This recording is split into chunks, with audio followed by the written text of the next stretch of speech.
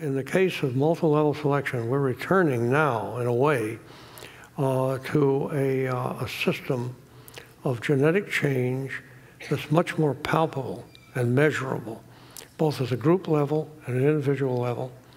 And there already is a very strong and well-developed field of population genetics prepared to deal with gene frequencies that change as you have different advantages given to uh, group versus group and individual versus individual.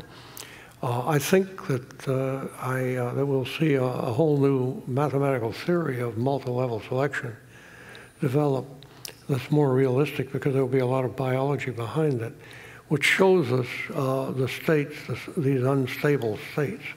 And this is one of the most profound aspects of this, if it is correct, and I think it is correct, that we are permanently unstable. We're permanently conflicted.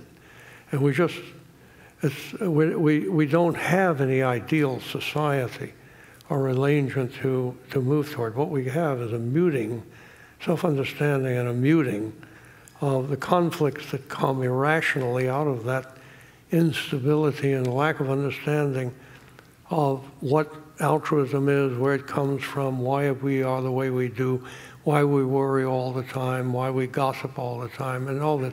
We need to understand ourselves not as errant primates uh, that just haven't found its way to an ideal social mm-hmm. condition. Uh, quite the contrary, we're always going to be this way, and we just somehow got to do it Uh, through self understanding and through conflict resolution and mechanism for more cooperation and tolerance.